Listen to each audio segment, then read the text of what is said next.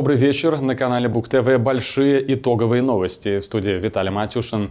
Неделя позади. Самое время узнать о ключевых событиях, которые произошли в эти семь дней. В итогах недели самое важное из того, о чем мы рассказывали, а также то, что осталось за кадром. Будем вместе разбираться в этих событиях, чтобы понять, что они значат для нас с вами. Главные темы сегодняшней программы. Космические спутники и электрокары, искусственные изумруды и белорусский ноутбук, более 150 предприятий и 400 экспонатов. В Бресте в легкоатлетическом манеже проходит масштабная технологическая выставка «Беларусь. Интеллектуальные регионы». С белорусскими инновациями и современными технологиями в числе первых познакомилась Евгения Мороз. Брест – здоровый город. В областном центре стартовал новый проект от Брестского зонального центра гигиены и эпидемиологии. Первыми приняли большую акцию школьники пятой школы и гимназии номер три. Блюстители порядка, хранители чистоты, стражи комфортной жизни горожан. 26 марта отмечает свой профессиональный праздник работники жилищно-коммунального хозяйства. С сотрудниками скорой коммунальной помощи службой 115 познакомилась Анастасия Мелешкевич. В областном центре дан старт большой экологической акции по благоустройству. Одно из первых мероприятий приурочили к Всемирному дню водных ресурсов. Сотрудники Комитета природных ресурсов и окружающей среды провели акцию в акватории в пойме реки Муховец. Нам по 65, 45 мы вместе. В выставочном зале областного общественно-культурного центра открылась выставка Светланы и Геннадия Вяль «Корункавая история». В эфире программы «Итоги недели». Говорим о важном и актуальном. Более 150 предприятий и 400 экспонатов, из которых треть – представители Брестской области. Это все Беларусь интеллектуальная, регионы. Масштабная технологическая выставка экспонируется в городе над Бугом. Брест подытоживает большой экспозиционный праздник науки и инноваций, который начался в столице в январе и состоялся во всех областных центрах. Космические спутники и электрокары, искусственные изумруды и белорусский ноутбук. Есть чем удивить и чему удивляться. Подробности у нашего корреспондента Евгения Мороз. Научное исследование – драйвер развития любой страны. Помимо фундаментальных исследований, важное направление – практика, ориентированность и воплощение новых решений промышленное и поточное производство. Выставка «Беларусь. Интеллектуальные регионы» – демонстрация того, как из исследований, которые проводятся в научных кругах, реализуются реальные проекты. Здесь разработки флагмана науки ученых НАН Беларуси, учреждения образования, научно-исследовательских государственных и частных организаций, страны технопарков. Сотрудничество с учеными Российской Федерации и Китая. Треть выставки – исследования, проведенные в Брестском регионе. Что касается вот непосредственно Брестской области, города Бреста, да, у нас сильнейший э, технопарк. Это основа. Я вот сегодня в своем, так сказать, посещении наших стендов э, делаю именно для Бреста. Это на наш э, именно парк, потому что это самые умные люди, это самые передовые. Они драйверы сегодня многих движений непосредственно экономического направления. Это импортозамещение и так далее. Но треть выставки сегодня сегодня это наши брещане, которые сегодня выступили от наших университетов, клинических наших больниц э, и э, диспансера, этот, онкологического диспансера, в том числе нашей, э, так сказать, э, растеневодческие предприятия, которые сегодня занимаются и селекцией, и размножением семян. И оно видно, то, что сегодня наука работает, она имеет результат. Экспозиция организована по кластерному принципу «Искусственный интеллект, IT-технологии, робототехника, индустрия 4.0, инновационное приборостроение, обороноспособность, военная наука, агропромышленный комплекс». Брещину по праву можно считать регионом с высоким научным потенциалом. У нас располагаются четыре университета и два технопарка. Наша область активно участвует в реализации проектов в рамках государственных программ. Так, в программе инновационного развития из 78 проектов по всей республике 17 – Брестского региона. Брещина участвует э, в реализации 11 проектов в рамках научно-технических программ. Это проекты э, в отраслях агро, э, ну, скажем так, сельского, сельского хозяйства и промышленности. Кроме того, нужно отметить, что только Брестский регион реализует свою собственную программу региональную инновационного развития. Поэтому говорить о том, что Брещина действительно обладает потенциалом, это совершенно верно. Мы все сегодня понимаем, что все то лучшее, что делают наши ученые, все наши лучшие значимые разработки должны быть использованы в интересах национальной экономики, в том числе э, в решении вопросов импортонезависимости нашей страны. Активный вклад жителей региона вносит и в производственную безопасность страны. Развитие агропромышленного комплекса в приоритете в Беларуси. На стендах не только новые образцы машиностроения, но и семеноводческих, перерабатывающих и производственных предприятий. Задача едина – качественное импортозамещение.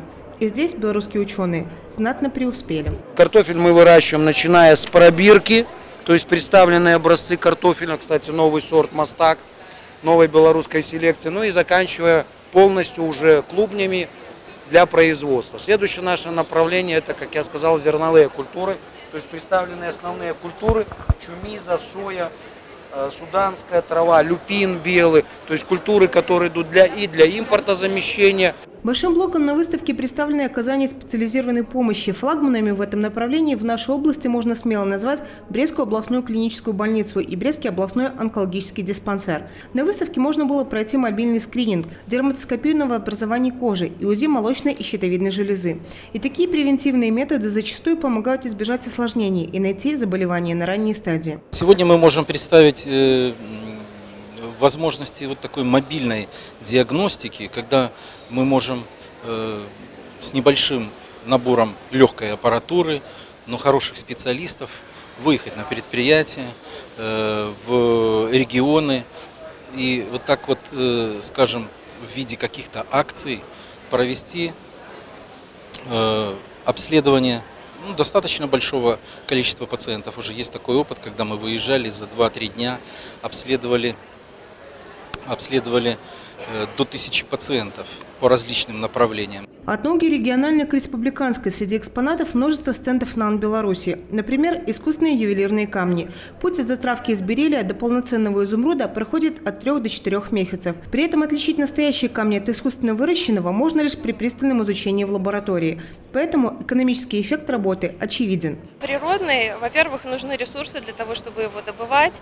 А, во-вторых, цена природного, да, чтобы его купить, э, за карат может достигать до 2,5 тысяч долларов. Цена э, за карат нашего камня где-то 50, 60, 70 долларов в зависимости от огранки. Это уже граненого камня 50-70 долларов. То есть разница э, видна, ну, очевидная.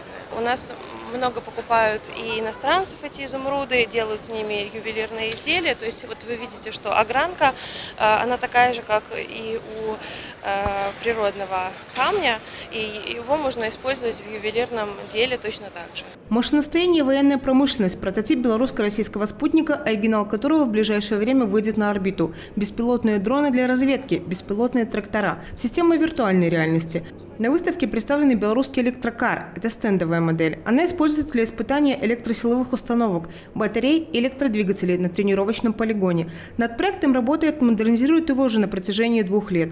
Запас хода у электромобиля 270 километров.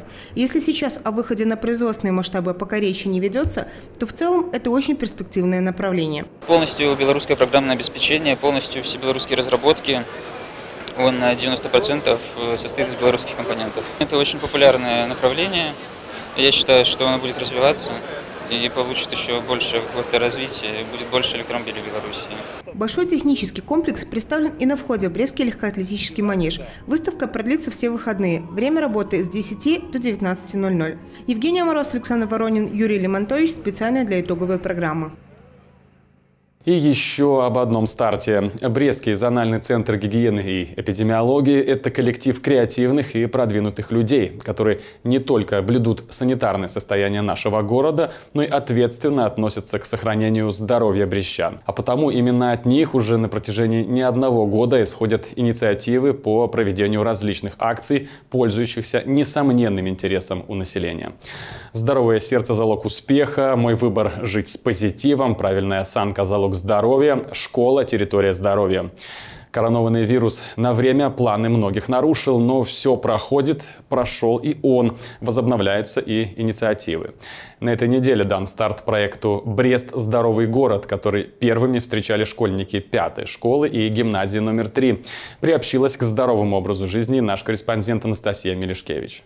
Брест по праву считается одним из лучших и красивейших городов нашей страны. И мы с гордостью говорим, лучше Бреста нету места. В красивом городе должны жить красивые, счастливые и здоровые люди. А потому на протяжении многих лет сотрудники зонального центра гигиены и эпидемиологии стараются заботиться о крепости духа и тела брещан. Многочисленные акции здоровья тому подтверждение. Как их продолжение, проект «Брест – здоровый город». Проект многоплановый, он охватит практически все население областного центра.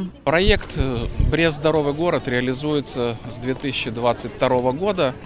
Было принято решение Брестского горисполкома в 2021 году расширить этот проект. У нас ранее реализовывался проект в Ковалевом микрорайоне э, несколько лет – ну и довольно успешно. И было принято решение расширить этот проект до масштабов города. Ранее проводилось много различных мероприятий, акций. У нас реализуются так называемые блоки, то есть много профилактических, порядка более 10 профилактических проектов в городе Бресте. И вот сегодня мы проводим первую акцию после пандемии COVID-19.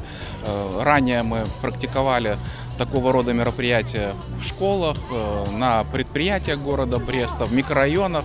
И вот сегодня первое такое мероприятие проводится у нас в гимназии э, номер 3 и в средней школе номер 5. В рамках данного проекта мы очень рады, что оказались первыми.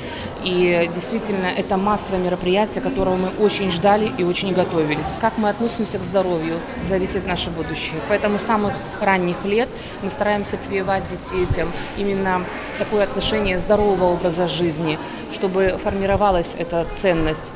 Два учебных заведения, школа номер 5 и гимназия номер 3, первыми приняли участие в акции, которая в первую очередь направлена на детей и на педагогов. Одним словом, организаторы постарались сделать акцию по максимуму. Так в пятой школе говорили о питании. Сегодня подход к питанию школьников под пристальным вниманием. Изменены формы и методы питания в школах. А потому на акции участникам продемонстрировали блюда для дегустации, которые внедрены в меню при реализации пилотного проекта. Взрослым важно, чтобы еда для их детей была полезной, разнообразной и доступной для любого родительского бюджета. А для ребенка главное, чтобы еда была вкусной. На акции в пятой школе детям были представлены от Савушкина продукты и молочные коктейли с различными вкусами – фисташками, бананами, клубникой. От берестейского пекаря мальчишки и девчонки попробовали свежую выпечку и блины с начинкой. Каждый остался доволен. Мне очень понравились э, с, э, пельмени и сырок, а еще очень вкусный топ. А, и мне еще понравились чипсики из хлеба. Мне понравилось, э, ну, э, йогурты, сырок мне понравился, там сок был, э, сухарики мне понравились, э, Кукурузные палочки понравились. Мне вот понравились те вот хлебные сухарики, они очень вкусные были. И мне тут то новый топ не очень мне был с фисташкой и кокосом. И мне еще понравился мишка, он пушистый. Мы знали, что мы пришли к деткам, мы знали, что здесь будет очень много людей, очень большая такая движуха. Мы готовились к этому, мы привезли специально самые сладкие наши новинки, э, всю нашу новую линейку топ, сырки, коктейли. И вот как раз наша такая целевая аудитория, и дети в восторге, и мы этому очень рады. На базе пятой школы говорили не только о здоровом питании, но и о правильной осанке. А все потому, что почти все современные школьники ведут пассивный образ жизни. От 6 до 8 часов в день они проводят в школе за партой, а приходя домой, сидят за выполнением домашних заданий либо за компьютером. В результате каждый второй школьник страдает нарушением осанки. Для того, чтобы удостовериться, что спинка ровная и нет никаких отклонений, врач-хирург-ортопед Евгений Новосадский провел консультацию в школе. До 16-18 лет растет и в этот период э, позвоночный столб должен держать мышечный корсет. Если этого мышечного корсета нету, естественно, в связи с ростом изменения позвоночника будут происходить. Плюс к тому, что как человек сидит, читает, занимается и тому подобное, это, естественно, приводит к тому или иному отклонению от э, оси позвоночника. Или сколиозом, или вот то, то что кифоз, то, что народ называет сутулостью. Для этого существуют такие проекты, чтобы, скажем так, там, где есть какие-либо отклонения, информация в конечном итоге до мамы, папы ну, родителей, скажем так, ребенка в конечном итоге дошла. Во время акции консультацию кардиолога, врача-офтальмолога и эндокринолога, а также диагностическое УЗИ щитовидной железы и ЭКГ учащиеся могли получить на базе третьей гимназии, где при необходимости юные пациенты могли быть направлены на внеочередное дополнительное обследование в организации здравоохранения города Бреста. Очень хорошо, что у нас есть такие акции. Э, во-первых, э, это популяризация здорового образа жизни, профилактика, э, профилактика заболеваний, но и старт для диспансеризации населения. У нас есть сейчас мощная законодательная база о диспансерном обследовании взрослых и детей. Поэтому мы об этом тоже говорим. УЗИ щитовидной железы у нас тоже достаточно Брестской области актуальная тема, потому что очень много э, случаев э, нехороших болезней, которые, кстати, прекрасно лечатся в наше время, успешно, и на сегодняшний день мы с этой задачей справляемся. Для учащихся 10-11 классов и педагогов также была представлена выставка лекарственных препаратов, витаминов, минеральных комплексов, направленных на профилактику и лечение заболеваний сердечно-сосудистой системы. В нашей школе проводится такое впервые. Для нас это такая приятная неожиданность. И получается, я сегодня я узнала, что этот проект разделен на четыре площадки – Э, одна из них посвящена здоровому питанию. Получается, у нас были э, представлены разные продукты от Савушкина, Брестского пекаря, и мы могли все это бесплатно продегустировать. И также я знаю, что проводятся э, мероприятия по улучшению здоровья, то есть были приглашены различные врачи, и я бы тоже хотела принять в этом участие. Я считаю, что это очень полезно и здорово, что э, в школах такое организовывается. Такая масштабная акция может стать хорошим началом для формирования здорового образа жизни у брещан, чтобы название проекта «Брест – здоровый город» было не просто звучным, а соответствовало реальности. Сегодня по инициативе Генеральной Ассамблеи ООН отмечается Международный день памяти жертв рабства и работорговли. Кажется, что эти понятия канули в лету и имеют исключительно исторический контекст, но это, увы, не так. Современная эксплуатация может иметь различные формы. Сексуальная, трудовая, изымание органов и незаконная трансплантация и многие иные раскрытие преступлений и помощь жертвам. Такая работа ведется и в нашей стране. Тему продолжит наш корреспондент. Увидела объявление, требуют как бы работники в Россию. Так. Затем позвонилась, предложили как бы все, назначили встречу, уехали. Ну, как бы так получилось, как бы месяц не оплачивалось. Второй месяц начали требовать деньги. Но ну, оплата как бы не проходила. То есть начались угрозы со стороны э, российских работодателей. Удерживал на то, что документы, то есть паспорта нам никто не возвращал. В данном случае женщину на поиски финансов вынудил развод и большая сумма платежей по кредитам. Эта история лишь одна из многих, которые слышали специалисты клуба деловых женщин. Только за прошлый год за помощью сюда обратились 20 человек, из них 6 – жертвы трудового рабства. Проходил месяц, второй, оплачивал. Потом в конце, ну, у меня лично такая ситуация сложилась, что паспорт срок истекал, так. бросили, ну, так. пополам как-то вырвались, и, получается, уже Беларусь закрылись как бы своим ходом. То есть вам так и не выплатили зарплату? Нет, так и не выплатили, так мы и не нашли, как говорится. А документы удалось забрать, но к этому времени ваш паспорт уже был просрочен, да? Да, Завершение этой истории также достаточно распространенное. Изымание документов, неисполнение обязательств и злоупотребление полномочиями, ненормированный рабочий день и недостаточный уровень социально-бытовых условий и питания, угрозы – это и многое другое, с чем сталкиваются жертвы трудовой эксплуатации. И механизм новых работорговцев крайне прост – изъять паспорт и поставить работника в максимально уязвимое положение. В нашей стране помощь таким людям оказывается в рамках Международной организации по миграции в Республике Беларусь. Что касается помощи, то она адресная и оказывается оказывается в каждом регионе. Данной категории граждан мы оказываем большой пакет помощи. Смотрите, это встреча в аэропорту и на железнодорожном вокзале и или а, предоставление временного убежища, организация бесплатного а, медицинского обследования и лечения, юридическая и психологическая помощь, и материальная помощь – это приобретение продуктов питания, средств гигиены, предметов одежды и обуви.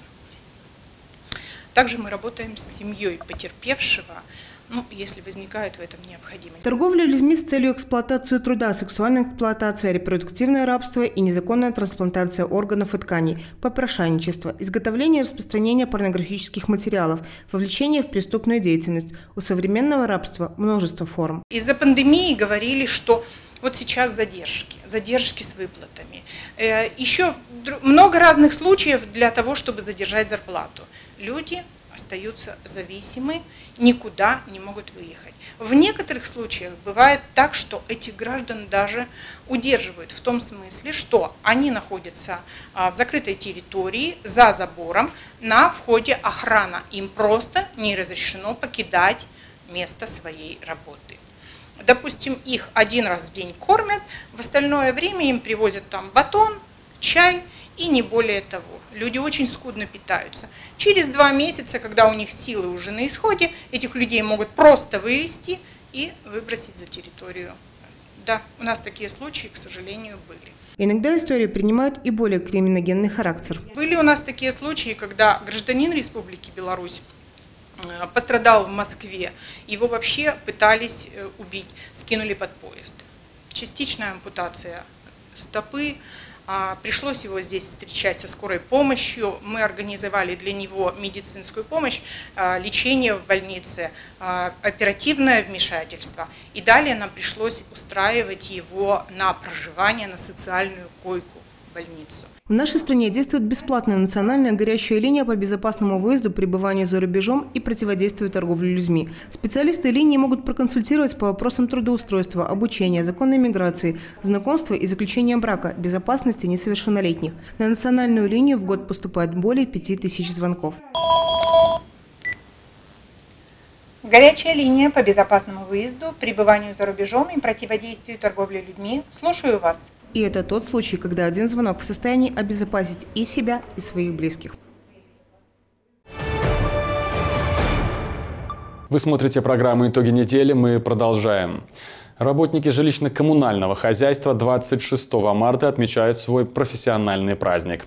Дворники, слесари, сантехники, плотники и огромное количество людей других профессий в этот день принимают поздравления. Ведь невозможно переоценить значимость профессионализма и ответственности тех, кто трудится в сфере жилищно-коммунального хозяйства. Работники этой отрасли неутомимо трудятся, чтобы в домах всегда была вода, газ, тепло и свет, чтобы радовали глаз парки и скверы, скверы, улицы и дороги, дворы и подъезды. Но если что произойдет, скорая коммунальная помощь придет на выручку, ведь жилищно-коммунальное хозяйство начинается именно здесь, со службы 115. О том, по каким вопросам обращаются в службу, как принимаются заявки, куда направляются, на эти и другие вопросы ответы в сюжете Анастасии Мелешкевич.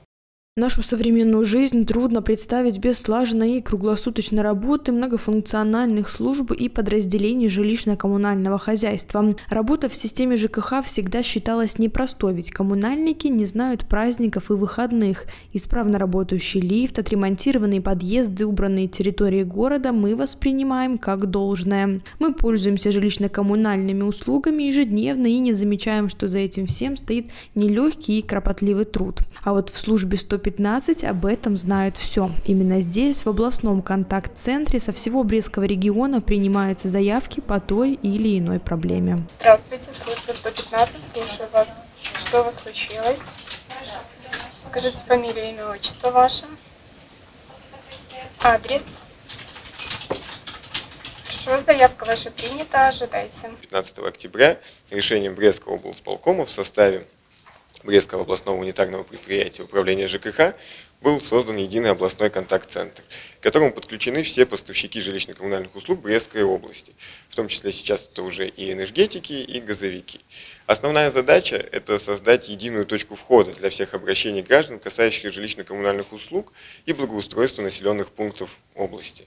То есть теперь не надо теперь уже 5 лет, как не надо знать множество номеров, достаточно знать один номер 115, по которому можно оставить заявку о любой проблеме, которая касается жилищно-коммунального хозяйства. Для жителей Брестского региона такая система очень удобна. Не нужно искать номера домоуправления, ЖЭСов и прочих служб, куда они обращались раньше. Набрал короткий номер 115 и можно быть уверенным, что с проблемой обязательно разберутся. Пропала вода, направят заявку в водоканал. Отключили свет, к вам направят бригаду из электросетей. Не зря службу 115 справедливо называют скорой коммунальной помощью. Она открыта к диалогу с горожанами круглосуточно, без праздников и выходных. Операторы принимают заявки, регистрируют обращения и моментально передают их в обслуживающие организации. В основном люди обращаются по вопросам отключения воды, света и уборки подъезда, а в зимний сезон самая актуальная проблема – отопление. У нас на сегодняшний день наиболее актуальные скажем так, проблемы, которые поднимает население, это отсутствие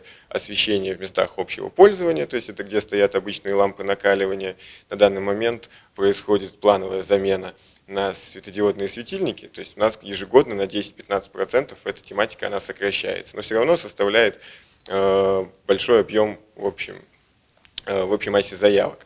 А также это вопросы горячего водоснабжения, то есть температуры горячей воды, и, наверное, благоустройство в целом, если мы возьмем и дороги, и какие-то малые архитектурные формы в виде э, урн и скамеек. То есть это вот такие вопросы, по которым чаще всего люди обращаются. Нашей съемочной группе удалось понаблюдать непосредственно за работой сотрудников единого областного контакт-центра 115. В этот день несла службу диспетчер Юлия Шабатура. Девушка работает в контакт-центре с самого начала, с 2018 года, и за все время ни разу не думала ее сменить. Она считает, что помогать людям – ее призвание. Чаще всего мы больше времени проводим на работе. Работа – это уже как дом, каждая работа каким-то образом связана с общением людьми.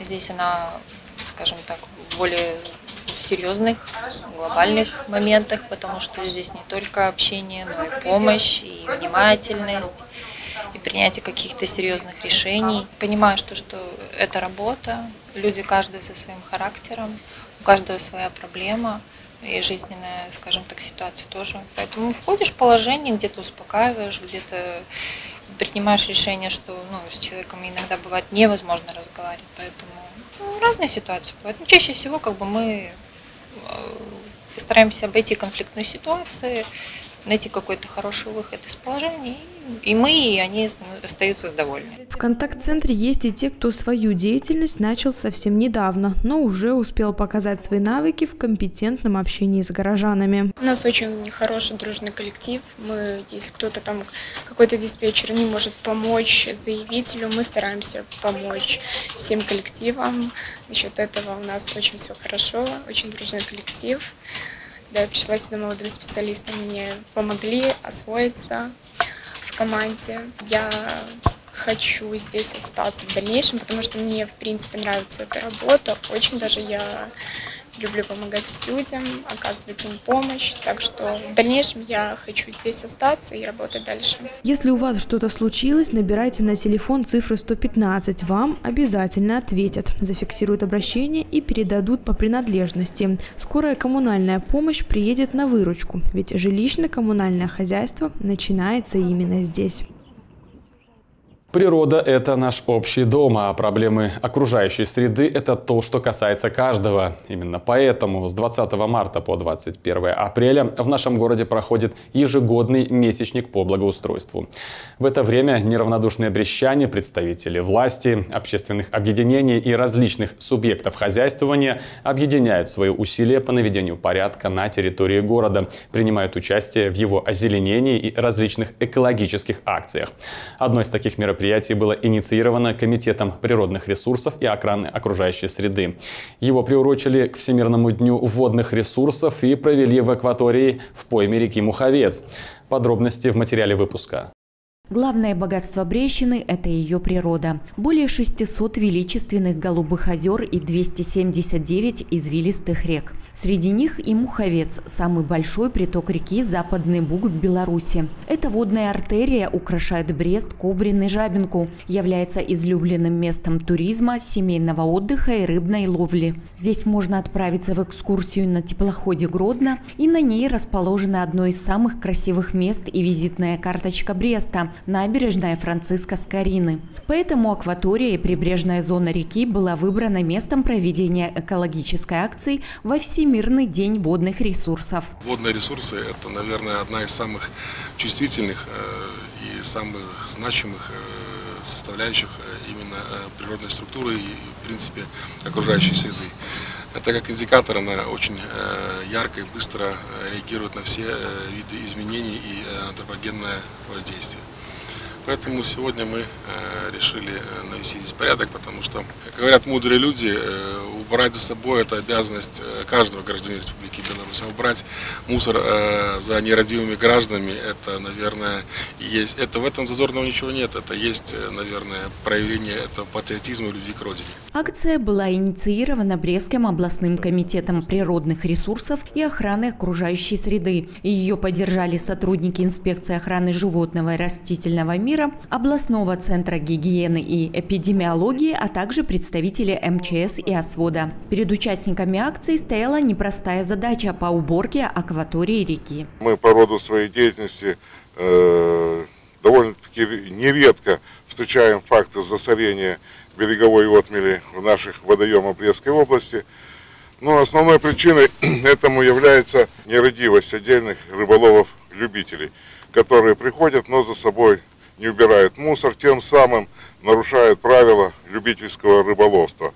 Сегодня мы э, специально идем по реке в черте города Бреста и не только, скажем так, убираем этот мусор, но и также проводим профилактическую работу с рыбаками для того, чтобы они э, соблюдали правила любительского рыболовства и не засоряли наши берега. А в это время на уборке прибрежной территории реки в ее пойме, которая является особо охраняемой зоной, трудились студенты специальности природоохранная деятельность. Пластик, бутылки, пакеты и прочий мусор – это точно не то, что украшает и идет на пользу окружающей среде. И будущие экологи не намерены с этим мириться. С разных сторон моста по всей Котропе мы убираем территорию от загрязнения, от пластика, от стекла, на то, что не разлагается и губит нашу природу. Мы всегда готовы помочь участвовать в подобных мероприятиях, ну и не только под патронажем, например, комитета, ну и мы проводим такие мероприятия самостоятельно. В прошлом году где-то мы собрали, наверное, около 500 килограмм мусора, это бутылки, стеклянные, пластик, вот, и в позапрошлом году, как, как правило, вот осенью, весной мы на своей земле наводим порядок. Действительно, природа – это наш общий дом, а проблемы окружающей среды – это то, что касается каждого. Поэтому в их решении должны быть заинтересованы не только власть и экологические службы. Важно, чтобы общество пришло к осознанию, что чисто и красиво там, где прилагают усилия, чтобы сохранить и приумножить эту природную красоту. Брещина богата талантливыми людьми. Одни из них – удивительная семья художников Светланы и Геннадия Авяль. Это прекрасный творческий тандем, который находит вдохновение друг в друге и вот уже 45 лет создает неповторимые произведения искусства. На этот раз Светлана Викторовна и Геннадий Игоревич представили жителям Бреста совместную выставку «Корункавая история», приуроченную к юбилею семейной и творческой жизни. Она прошла под девизом «Нам по 65, 45 мы вместе» вместе. Необычным стал и формат проведения мероприятия. Всех гостей попросили прийти в джинсовой одежде. А почему это было так важно для главных героев мероприятия, расскажет сюжет нашего выпуска. Оптимистическая история или путешествие по 45 годам семейно-творческой жизни. Так тепло характеризует совместный с супругой Светланой юбилейный проект признанный художник-график международного уровня и просто любящий муж Геннадий Вяль. Путешествие в эпоху нашей молодости, когда мы ходили в джинсах, э, плясали, танцевали на дискотеках под виниловые диски – тащились под хард-рок. Именно поэтому гостям предлагалось прийти на мероприятие в джинсовой одежде, послушать виниловые пластинки, вместе погрузиться в прошлое и, конечно же, насладиться работами двух удивительных и непохожих в своем творчестве, но, безусловно, талантливых и близких по духу людей. Раз в пять лет мы проводим юбилейные выставки. Собирались мы уже с прошлого года. Эту выставку мы решили сделать как ретроспективу, э, немножко залезть в историю, потому что у нас и тема э, джинсовая, это наша молодость, и фотографии мы подняли нашей молодости, и работы некоторые, те, которые делались очень-очень давно, когда мы еще молодыми были. Э, ну вот, работ у нас 110, а вместе нам 130 чуть-чуть не дотянули, но и не вместили бы. Оказалось, что зал на 130 не рассчитан. На выставке представлено 66 работ Геннадия Вяля, члена общественного объединения «Белорусский союз художников». Более 30 лет его неповторимые гравюры представляют искусство белорусского эстампа на республиканских и международных графических выставках, конкурсах и конгрессах. Они отмечены многочисленными призами, наградами и широко известны среди ценителей искусства. У меня здесь 66 работ. Вот они как раз ретроспекцию такую представляют. Э, нашей творческой жизни. Э, я занимаюсь, то есть круг моих творческих интересов это гравюра на металле, это форт, цикл э, ностальгичные памятки. Здесь как раз уже появляется новая техника. А если раньше это было травление кислотой, то есть печатная форма, она травилась в кислоте, то теперь все делается вручную. Э, техника медцетинта называется. Я мечтал о ней давно, но она, она просто сложнее. Светлана Вяль, в отличие от мужа, занимается ручным художественным ткачеством и возрождает уникальный вид древнеславянского народного декоративного искусства – вытянанку. Ее сложные работы буквально завораживают. Они выполнены тонко, изящно и представляют собой невероятно притягательные ажурные узоры и образы из бумаги. У любого человека за жизнь накапливается много мыслей, много каких-то переживаний. И их надо уметь выплескивать. Так как мы стали пенсионеры, мы стали свободны, мы стали делать, что хотим. У нас есть очень много времени делать, что мы хотим. И поэтому мы начали выплескиваться, вот все наши эмоции, которые, может, были чем-то зажаты раньше, они начали в творчество выплескиваться. Ну и так как у тебя очень много свободного времени, чтобы это свободное время тебя не задушило не превратило в тот же самовар, просто стоящий, ну, каждый пенсионер должен себе найти творчество какое-то и заниматься этим. Впечатление от выставки такое, скажу, скажу даже ошеломляющее. Очень профессионалы высокого класса. Э, я считаю, для Бреста это гордость, это большое достояние, что у нас есть такие мастера, э, график международного класса, ну, а вытянанки и гобелены Светланы Вяль тоже говорят сами за себя, она народный художник. Э, поэтому, что я хочу сказать, чтобы люди приходили больше и смотрели, здесь есть на что посмотреть, это настоящее и мастерство, и искусство. Увидеть, как органично переплелись в проекте два творческих начала и убедиться в том, насколько может быть удивительной сила искусства, прикоснуться к таланту мастеров Вяль можно будет до 16 апреля в выставочном зале на Советской. Ну а авторы выставки не сомневаются, что впереди у их тандема еще много творческих проектов и побед. Это были итоги недели, у которых, как всегда, свои герои и свое видение происходящих событий. Жизнь всегда проще, когда понимаешь, как и что происходит. Но мне остается только добавить, это было ваше телевидение, семейный канал Бук ТВ.